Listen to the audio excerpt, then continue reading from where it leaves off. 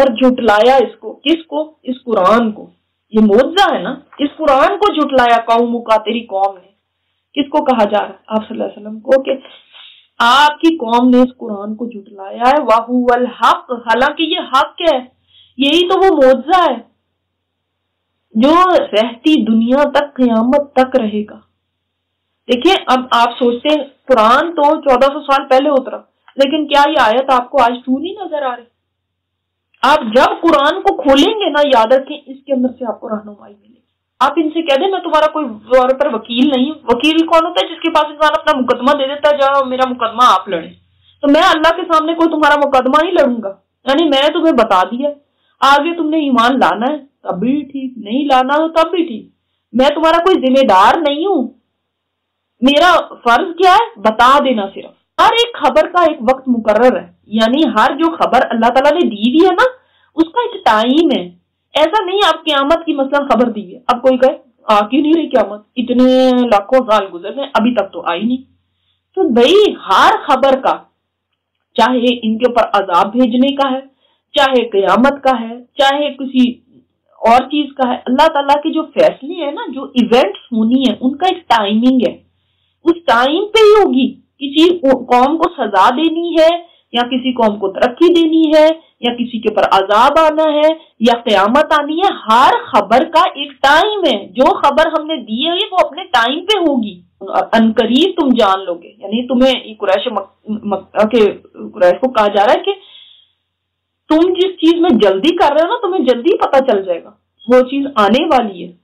और वाकई बदर में देखे, इनके बड़े बड़े सरदार मारे गए थे। अजाब की एक फॉर्म आई थी ना इन पे। जब आप देखें, उन लोगों को जो मशहूल होते हैं हमारी आयात में, मशहूल का मतलब क्या? यानी वो या तो आयतों के अंदर मीन मेखे निकाल रहे हैं, फजूल बहसें कर रहे हैं इसको बकवास बातें कहते हैं, वो कर रहे हैं, इतराजात कर रहे हैं, मज़ाक उड़ा रहे हैं, चाहे दीन का, चाहे आप सल्लल्लाहु अलैहि वसल्लम की जात के ऊपर कोई बात कर रहे हैं, चाहे कुरान के ऊपर कोई बात कर रहे हैं। आपको एग्ज़ाम्पल देती हूँ। मसल आप वसल्लम की शादी हज़रत आयशा के साथ हुई, इतनी छोटी उम्र में कैसे कर ली उन्होंने की, कैसे कर लिया, वो तो एक माइनर थी और वो तो अभी एडल्ट नहीं थी और फलां थी वसल्लम तो कोई काम कारोबार नहीं करते थे। क्यों नहीं करते थे वो? वो, क्या लोगों से मांग के खाते थे? क्या करते थे? ये क्योंकि मुझे अभी तक सवाल आए हैं, इसलिए आपको बता रही हूँ। हाँ हिजाब का कहाँ पे है? ये यहाँ पे तो कहीं पे भी नहीं लिखा हुआ कुरान के अंदर तो कहीं है ही नहीं है कि बालों को कवर करो। कहीं बालों का नाम लिखा हुआ कहीं बालों का ज़िक्र है? शराब हराम है। हराम का लफ्ज कहाँ आया? कोई भी नहीं आया इस्लाम के अंदर, इसमें, कुरान के अंदर। और इस्लाम ये कहता है हाँ रूह, वो, हुरों के बारे में ये ये बातें। और जन्नत के लतीफे, और जहन्नुम के लतीफे, और क्यामत के दिन के लतीफे और इस चीज़ के लतीफे जब ऐसी बक बक बातें, जब सुने किसी मजलिस में, वहाँ पे किसी ईमान वाले का बैठना नॉट बी पॉसिबल कैसे उससे वैसे मुझे बताएँ कि ईमानी गैरत हमारी कहाँ चली जाती? हम उस वक्त बैठे नहीं हाँ, हाँ जी सुनते रहे जी। अब चले मैं मैं तो नहीं ना कुछ कह रही। जब वो क्रिटिसाइज कर रहे हैं आपके दिन को आप कैसे बैठ सकते तो उठ के चले जाओ वहाँ से वॉक आउट फ्रॉम देयर हाँ तक के वो किसी और बात में मशहूल हो जाए। कोई और बातें करने लगे कोई सलाह की बात है कोई खैर की बात है कोई तो जब किसी और बात में मशगूल हो जाएँगे तो फिर आप चले जाए, बैठ जाए फिर जाकर अगर भुला दे तुमको शैतान, क्योंकि शैतान का तो काम क्या है? भुला देना। वो पूरी कोशिश करेगा कि इसको भूला रहे। अब इंसान ना कभी कभी बैठा रहता उसको याद ही नहीं रहता कि मैंने तो कुरान में ये पढ़ा था जब सर से पानी गुजर गया, तब याद आया। फला तक फला तक बादत दिख रहा तो ना तुम बैठो याद आने के बाद। अगर तुम्हें याद आ जाता ना एंड में भी तो ये नहीं कि चलो अब तो सारी महफिल खत्म होने ही वाली है। अब तो खाना लगने ही वाला है। अब तो ऐसे होने वाला है। चलो, अब जहाँ इतनी देर बैठी हूँ तो बैठी रहती हूँ। नहीं। उसी वक्त उठ जाए जू ही याद आए। उस ग्रुप के साथ मत बैठे। उस पार्टी में, उस मजलिस में, उस टेबल पे मत बैठे। क्योंकि उलमा फरमाते कि ऐसी मजलिसों में जान बूझ के अगर आप बैठे रहे ना तो ये कुफर है। और अगर आप तंगी के साथ बैठे हुए अब क्या करें? बैठना है, मजबूरी है, तंगी आपको, कराहत के साथ आप, कराहत का इजहार भी कर रहे हैं। तो फिर आप यानी फिर गुनाह तो नहीं रहेगा, अगर आपकी कोई मजबूरी ऐसी है, फिर गुनाह तो नहीं रहेगा, मगर ठंडे पेटों आप ऐसे नहीं बैठ सकते। और उन लोगों पे जो तकवा इख्तियार करने वाले हैं, उनके हिसाब में से कोई चीज़ नहीं। यानी जो तकवा वाले हैं ना, उनके जिम्मे कुछ नहीं, उनकी रिस्पॉन्सिबिलिटी नहीं है। वंस आप वहाँ से उठ के चले गए हैं, अब आप कौन है? जो बचना चाहते हैं। तकवा का मतलब क्या है? यहाँ पे जो बचना चाहते हैं, जो इस तरह की बातों में नहीं पढ़ना चाहते, उनके ऊपर कोई हिसाब नहीं है। अब तुम्हारी कोई ज़िम्मेदारी नहीं है, जो वो लोग बातें कर रहे हैं। तुम्हारी ज़िम्मेदारी या तुम्हारा हिसाब कब होगा, या तुम्हारे पर गुनाह कब होगा, जब तुम उनमें बैठे रहोगे।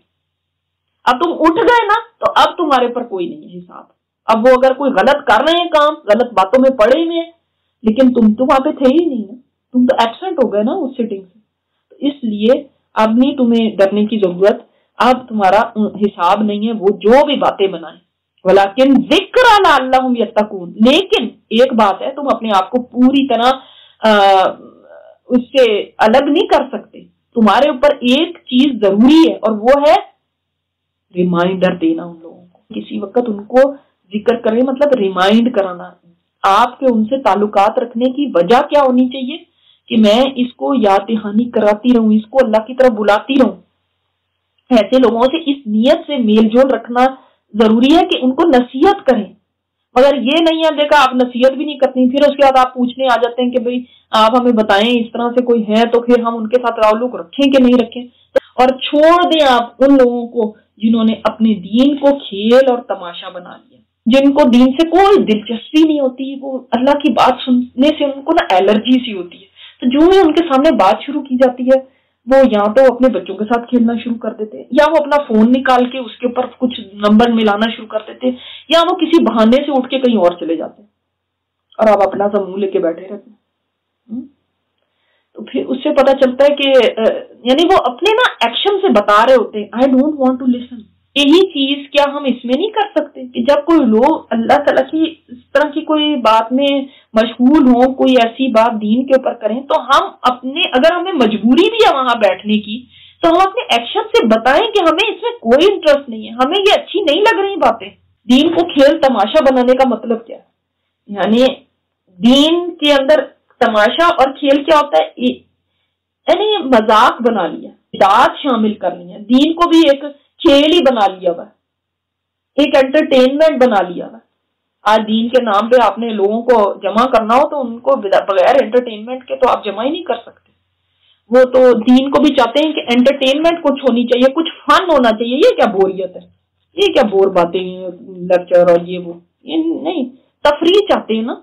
और तफरी क्या होती है? फारे वक्त का काम होता है। वक्त में आप खेल खेलते हैं ना तो इन्होंने अपने दीन को भी खेल बना लिया। फारे वक्त का काम। जब दुनिया के सारे कामों से फारे हो गए अच्छा अगर फिर ख्याल आ गया, कुछ हमारी ताकत बच गई तो फिर हम कोई दीन का काम को कुछ संजीदगी से ले लेंगे, फिर हम कोई बात सुन लेंगे, कोई बात कर लेंगे कोई दीन की।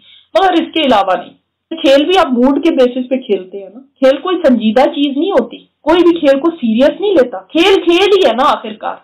दीन को भी इन्होंने नॉन सीरियस लिया हुआ खेल भी थोड़ी देर के लिए आप खेलते हैं ना, उसके बाद उठा के फेंक देते हैं, हमें, मेरा दिल भर गया।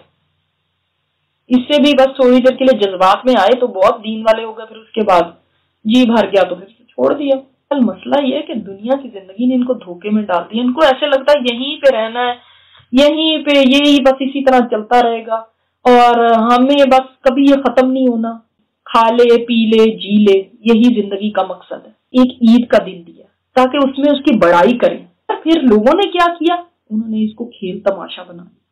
अब आज देखे, दीन के अंदर क्या है? ईद का त्योहार भी क्या बन गया? नाचने गाने की मजलिस है, चाँद रातें, ये बन गया। अल्लाह का नाम किसी को नहीं याद है। फिर चाँद रात सारी रात मनाई, फिर उसके बाद कौन फजर पे उठे और कौन ईद की नमाज़ पढ़ने के लिए जाएगा? फहाशी उसमें हो रही है और रात रात भर तक जाके नाच गाना उसमें हो रहा है। खेल तमाशे को दीन का नाम दे दिया। और नसीहत करो साथ इसकी। यानी इस कुरान के साथ इनको नसीहत करते रहो। तो ताल्लुक उतना होना चाहिए कि नसीहत करने का दुआ कनूत पड़ती हैं, जिनको वो वाली आती है अल्लाह का वनस्तगफिर का तो उसमें एक आता है, वला नकफुरु का व नखलाउ व नतरुकु मई आता है ना ये? कभी आपने समझा उसका मतलब क्या? व नखलाउ, और हम अलग करते हैं। और हम छोड़ देते हैं। किसको? यफजुरुक अल्लाह जो तेरी नाफरमानी करता है, हम छोड़ते हैं उसको। रोज़ाना ये हम, माशाल्लाह, वित्रों में ये पढ़ते हैं। लेकिन इसका मतलब नहीं पता हमें कि मैंने अल्लाह तेरी खातिर छोड़ दिया उसको जिसने तेरी नाफरमानी की। लेकिन हम उन्हीं की मजलिस में बैठते हैं और उन्हीं को फिर वाह वाह करते हैं और फिर उसके बाद कहते हैं फ़ंक्शन बहुत अच्छा हुआ। अपनी कमाई की वजह से पकड़ में आ जाए। कमाई क्या है? ये जो अमाल वो कर रहा है। तो कुरान के ज़रिए याद दहानी कराते रहो। नहीं है इसके लिए, इस नफ्स के लिए। अल्लाह के सिवा कोई दोस्त नहीं है, कोई शफी नहीं। किधर जाओगे तुम? दोस्त है, सच्चा दोस्त, वली जो हक, अलहक है, वो भी अल्लाह ही है। और सिफारशी भी कोई नहीं होगा उस दिन जो तुम्हें बचाएगा। आज तो हम इस तरह, ऐसी मजलों से मैं बैठ जाते हैं और उसके बाद ये कभी सोचते ही नहीं इन लोगों ने कल मेरे काम नहीं आना। ना तो ये सच्चे दोस्त हैं कि कल को वहाँ पे मुझे बचाने के लिए आएँगे और ना ये मेरी कोई सिफारिश कर सकेंगे। मैं इनकी खातिर अपना ईमान गंवा दू, इस मजलिस में बैठी रहूँ कि ये खुश हो जाए। यही वो लोग हैं जो के हलाक कर दिए गए या महरूम कर दिए गए सवाब से भी माँ का सबूत जो उन्होंने कमाई। की वो लोग ऐसी बहसों में पड़ते हैं और जिन लोगों ने इस दीन को खेल तमाशा बना लिया कि इनके लिए ये दीन कोई चीज़ ही नहीं ये इनके घर की बांधी है जैसे। और दुनिया में ये ऐसे मशगूल है, ऐसे बेशुमार लोग आपको अपने इर्द गिर्द नज़र आएँगे। बेशुमार लोग जिनके लिए दीन इज़ नथिंग वो सिर्फ़ एक नाम उनके नाम है मुसलमानों वाले, बस अदरवाइज़ दीन उनके लिए नथिंग कोई वैल्यू नहीं है इस दीन की, और कोई पता नहीं है इस दीन का। बस दुनिया में मशगूल है, इसकी दौड़ में लगे हुए सुबह होती है और शाम हो जाती है, और इसी दौड़ में भागे चले जा रहे हैं। लेकिन आपने उनको नसीहत करनी है। अगर अल्लाह ताला ने बता दिया ये इन कोई उस दिन काम नहीं आना कोई बदला नहीं इनसे लिया जाएगा। यही लोग हैं अपने सवाब से भी महरूम कर दिए जाएँगे। लहुम शराब मिन हमीम ये वो लोग हैं इनके लिए वो पानी होगा जो खोलता हुआ पानी है।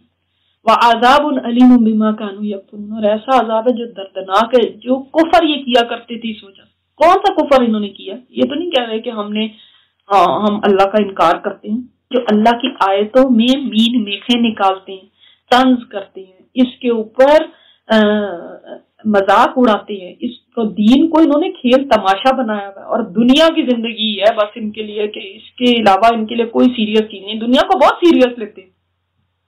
उसके नफा नुकसान को बहुत सीरियस लेते हैं। काफरों को कहा जा रहा है कि आप, ए नबी, इनसे कह दें इन काफिरों से, क्या हम पुकारे अल्लाह के सिवा उनको? जो ना हमें नफा दे सकते, ना नुकसान दे सकते। तुम ये चाहते हम इन बुतों को पुकारना शुरू हो जाए?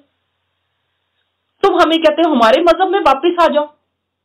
ये बुत जो ना हमें फ़ायदा दे सकते, ना नुकसान, और हम फिर जाए अपनी एड़ियों पे, यानी हम वापस पलट जाए, इसके बाद कि अल्लाह ने तो हमें हिदायत दे दी अल्लाह ने हमें ये इतना प्यारा दीन दे दिया, हमें तोहीद दिखा दिया अब हम वो छोड़ के वापस पलट जाए, जिस तरह से आए थे, उधर ही चले जाए। उन बुतों की तरफ़ मिसाल उस आदमी की तरफ़ से जिसको शैतानों ने रास्ता भटका दिया। पुराने जमाने में ना जंगलों में जब लोग जाते थे, जिन्नात उनको रास्ता बुला देते थे, जिन्नात उनके साथ शरारतें करते थे। तो ऐसा बंदा है जिसको शैतानों ने रास्ता बुला दिया, फिर अर्द हैरान, वो ज़मीन में परेशान, ज़ाहिर वो लॉस्ट हो गया ना। वो परेशान फिर रहा है कभी इधर कभी इधर। इसी तरह जो अल्लाह को छोड़ के औरों के पास जाएगा, वो ऐसे ही है, कभी इस दर पे गया, कभी उस दर पे गया, उसको समझ ही नहीं आ रही, मैं किधर जाऊँ?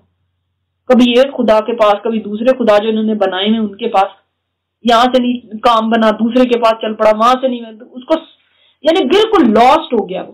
दायत पे आने के बाद भी गुमराही में इंसान पढ़ सकता है। उसके कुछ साथी हैं। अब ये दोनों तरह के साथी हो सकते हैं देखें इसको हम क्योंकि यहाँ पे बताया नहीं गया मगर दो, दोनों तरह की तफसीरें हैं इसमें।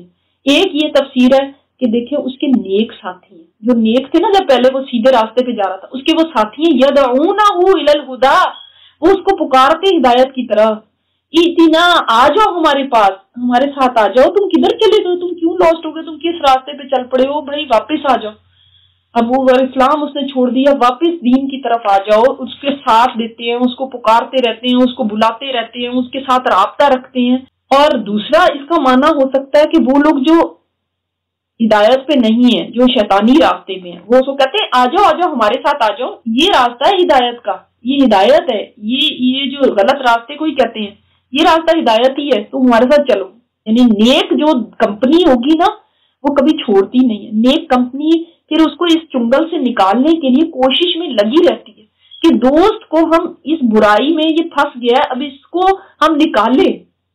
उसको दलदल में फंसने डूबने नहीं देते भी किसी को फ़ायदा नहीं पहुँचा सकता, हिदायत नहीं दे सकता जब तक अल्लाह ना चाहे। और हिदायत अल्लाह की ही पास है, वही हिदायत, असल हिदायत। है दूसरी तरफ़, अगर उन लोगों को देखा जाए जो बुरे साथी हैं, अगर उनको देखा जाए, वो पुकार रहे हैं हिदायत की, कह के कि आ जाओ, ये रास्ता हिदायत का रास्ता है, आ जाओ हमारी तरफ़।